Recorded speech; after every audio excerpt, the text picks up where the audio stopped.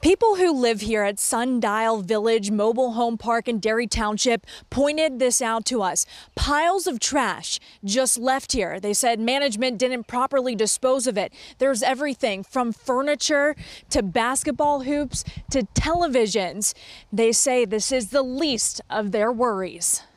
December, I started smelling raw sewage. 26 years, I've never drinking the water here. Oh, it's been very concerning. Nothing's been done by it. You know, my son plays outside. Lisa Ross snapped these pictures back in March. She says no one fixed that problem. And now, two months later, she says there's even more issues. There's like water pressure. Sometimes you have water, sometimes you don't have water. The most recent water woes stem from a broken pipe and pump. During the repairs, Patricia Quick says some people were without water for 38 hours. It's just crazy. It's like we're at camp.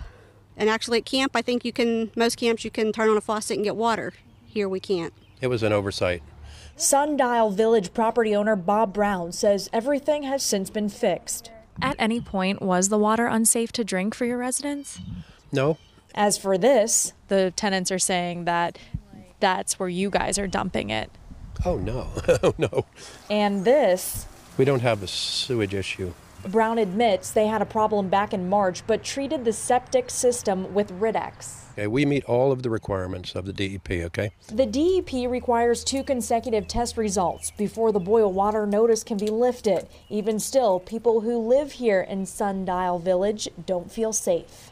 I'm a human. Everybody else here in the park is human. We deserve drinking water. And we're told that boil water notice could be lifted as soon as the middle of next week to the end.